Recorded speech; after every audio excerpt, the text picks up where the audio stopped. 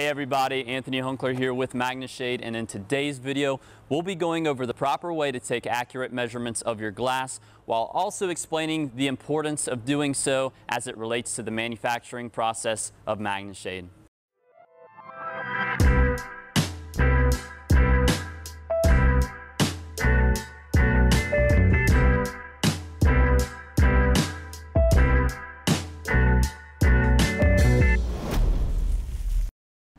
Let's start things off by taking a look at the measurement verification form, which is an online form that we utilize to capture the verification information that you, the customer, will fill out. So there are yes and no questions, and as you select yes to the products you are interested in or have purchased, it'll populate different things that it needs information for, such as specific measurements for the windshield. So with all that being said, let's jump into the video and I'll show you exactly where to measure.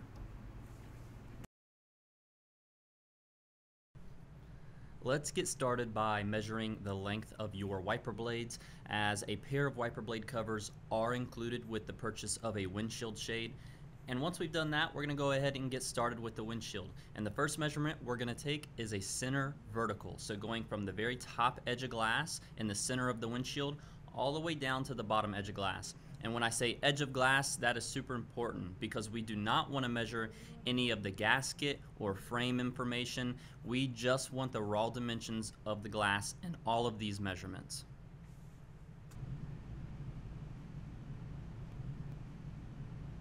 Next up is the exterior passenger vertical and as you saw me do in the previous measurement I'm using this piece of tape to help hold that measuring tape to the top edge of glass that way I can bring it down all the way to the bottom edge of glass and get an accurate measurement so if you don't have a second set of hands that can help hold the measuring tape for you I would highly recommend that you go about using this method.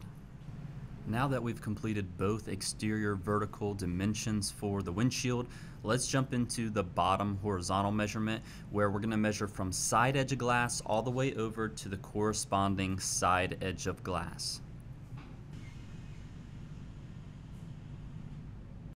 The next few measurements we will take are going to be the exterior passenger dash tint, the exterior center dash tint, and the exterior side tint. Now if you notice we're just measuring the solid black portion. Please do not include the small dots that are on the edge of the tint. All right, now that we've taken all of the exterior dimensions for the windshield glass, we're gonna go inside and take a couple of interior measurements. Now this is key for us to understand how much interference you have. And when we say interference, we're referring to cabinetry, side trim, or dash that gets in the way of physically placing a magnet towards the bottom, side, and top edge of glass. And this is super important because it dictates where we place magnets in the shade and how we construct the shade for your coach in general. So follow me inside and we'll get started. Starting with the interior center vertical on the windshield, I'm gonna take that measuring tape and go as far uh, to the top edge of glass as I can. And then you'll see me right here I put pressure on the very bottom of the measuring tape as far as I can reach down. And I'll come up to about 52 and a quarter inches on that measurement for the interior passenger vertical you can see that we're pretty much doing the same thing as the previous measurement we're going as high up to the edge of glass as possible and then reaching behind the dash where there's a little bit of a void uh, to get that measurement of about 53 inches. The last few measurements we are going to take on the inside of the windshield are going to be the center dash tint. Again, just measuring the thickness of that black band that runs around the perimeter of the windshield. Right here we're doing the passenger side dash tint and then next we're going to do the side tint closer to the bottom of the windshield. And then next we're going to do the side tint towards the top of the windshield. For those of you who ordered a digital print, we are going to take a few more measurements for the wiper blades. And specifically what we're going to do is locate your wiper blades relative to your windshield. And this is super important because as you can see in these clips it will allow us to blend your wiper blade covers to the image that you selected for your windshield shade. So this is the wiper blade diagram that we will want you guys to follow And if you have vertically parked wipers, just simply select that you have the vertical wipers on the measurement verification form and it will populate a different diagram for you to follow. Now in these next few clips I am not going to voice over, I'm just going to let you follow along and watch where I'm taking these measurements.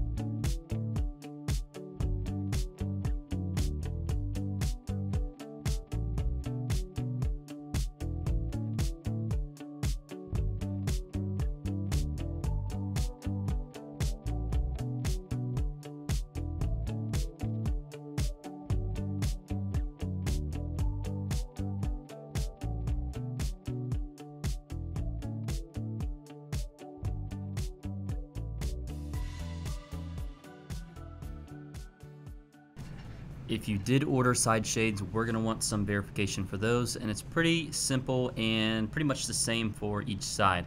Uh, now on the driver's side, please tell us if it's a power or manual sliding window. Uh, but the first measurement, as you just saw, is going to be a center vertical. So going from the top edge of glass down to the bottom edge of glass there, um, and excluding any frame information. So moving along, we got a bottom horizontal.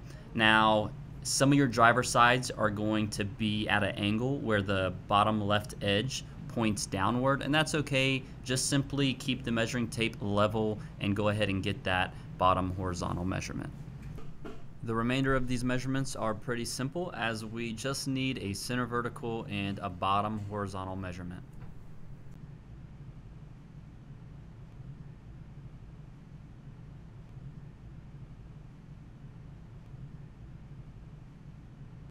The last thing we're going to go over in this video is how to measure your mirrors for mirror covers. Now if you go on the online form and select yes, it'll populate the information we need, which is the height, the width, and the depth of your mirrors.